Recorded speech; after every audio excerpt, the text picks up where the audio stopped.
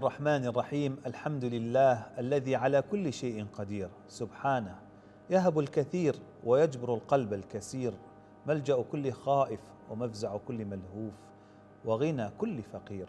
والصلاة والسلام الأتمان الأكملان على سيدنا محمد صلى الله عليه وسلم السراج المنير ذي الوجه الأنور من البدر والكف الألين من الحرير. اللهم صل عليه وعلى آله وأصحابه وتابعيهم وعلينا معهم برحمتك إنك أنت اللطيف الخبير. السلام عليكم ورحمة الله. مرحبا أيها الكرام. بك أستجير. والبرنامج الذي نطوف من خلاله في حدائق سنة رسول الله صلى الله عليه وسلم وأنفاسه الشريفات لنقف عند استعاذات النبي صلى الله عليه وسلم. سيدنا النبي استعاذ من أمور كثيرة. صلى الله عليك يا سيدي يا رسول الله. حصن أمته من كل سوء ودلها على كل خير. جزاه الله خير ما جزى نبيا عن أمته ورسولا عن قومه عليه الصلاة والسلام. اليوم نقف مع استعاذة رهيبة. سبحان الله كم نحن بحاجة لها. هذه الاستعاذة تأمل إلى قول النبي صلى الله عليه وسلم اللهم إني أعوذ بك من زوال نعمتك. وتحول عافيتك وفجاءة نقمتك وجميع سخطك. يا الله اللهم إني أعوذ بك من زوال نعمتك وتحول عافيتك وفجاءة نقمتك وجميع سخطك. لا إله إلا الله. ما هذا الكلام؟ إذا أردت أن تعرف رهبة هذا الكلام تخيل معي إنسانا له نعمة يتقلب فيها فرحا مسرورا فتزول. كيف سيمسي حاله؟ تخيل معي. تخيل إنسان صاحب نعمة. لا إله إلا الله. تخيل عن تحول العافية في الصباح قوي متعافي معافى في المساء مليء بالأمراض. نسأل الله العافية. رهيب. نحن بحاجة إلى هذا الدعاء؟ نحن بأمس الحاجة له. أعوذ بك من زوال نعمتك. ما هي النعمة؟ النعم نعمة نوعان نعم ظاهرة ونعم باطنة. النعم الظاهرة كثيرة يعرفها كل أحد. المال الصحة الجمال المنصب الشهرة العافية القوة السمعة أو, إلى آخره من هذه النعم. الذرية الزوجة الولد. والنعم الباطنة نعم القلبية السعادة السرور الإيمان الحب الصدق. التعلق بحضرة النبي صلى الله عليه وسلم. رؤية المنكر منكرا رؤية المعروف معروفا هذه نعم نعم خفية باطنة. الإنسان الذي تملك قلبه تملك قلبه حب الله وظهرت عليه نعم الدنيا فقد حاز الخيرين خير الدنيا والآخرة. إذا واحد قلبه طيب مع الله وبدنه معافى وعنده قوت يومه أصبح وقد حيزت له الدنيا بحذافيرها بأسرها. من زوال نعمتك لابد من من تنبيه في هذه الدعوة. من زوال نعمتك. زوال النعمة هي إشارة إلى يا رب وفقني إلى أعمال تحفظ هذه النعمة. إذا معنى أعوذ بالله من زوال النعمة يقتضي دعاء وهو طلب التوفيق للأعمال التي تحفظ النعمة.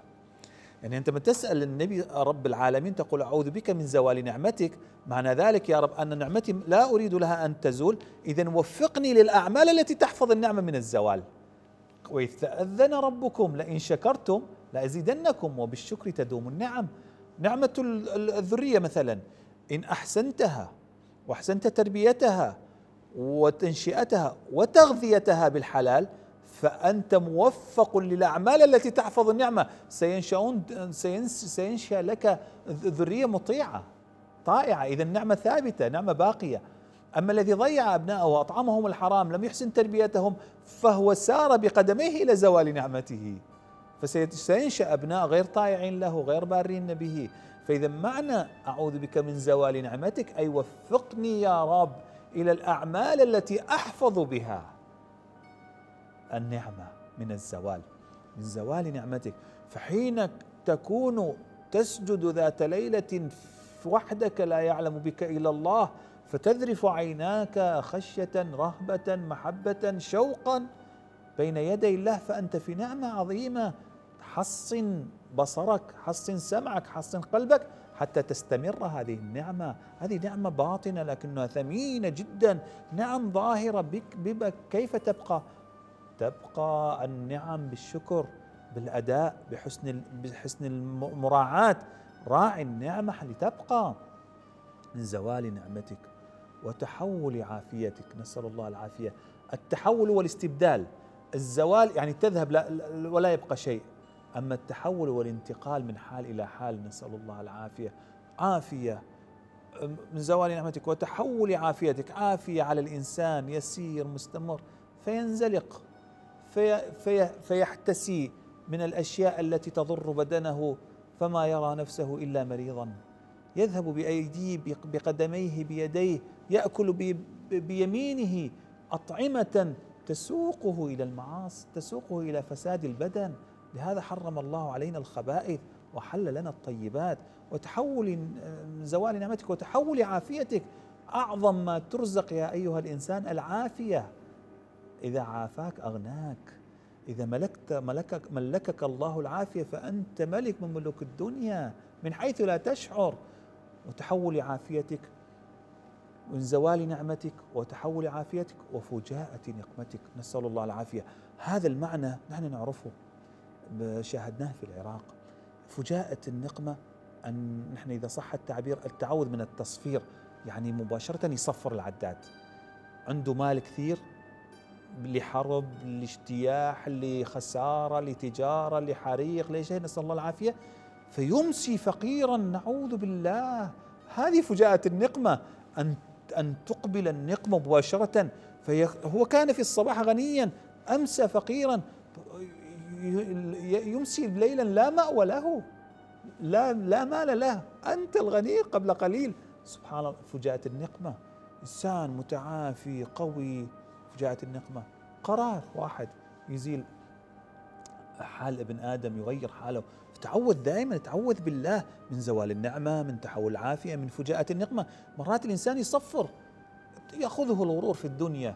شركات أملاك على غفلة يصفر نسأل الله العافية وجميع سخطك. رب العالمين إياك أن تغضبه. لهذا النبي صلى الله عليه وسلم من مكة إلى الطائف ولا قرية ما سمعت كلام. وأهل الطائف آذوا حضرة النبي صلى الله عليه وسلم. وطلع سيدنا النبي ما هم, اللي هم السبب. هو سيدنا النبي يقول إن لم يكن بك علي غضب فلا أبالي. لأن التعوذ من السخط خطأ مهم. فقال يا رب بس أنت يكون لا غضب ما يخالف خلي ما يخالف. قال إن لم يكن بك علي غضب فلا أبالي. سبحان الله صلى الله عليك يا سيدي يا رسول الله. هكذا وقفنا اليوم مع هذه الاستعاذة. أسأل الله أن يعيذنا وإياكم من شر كل ذي شر.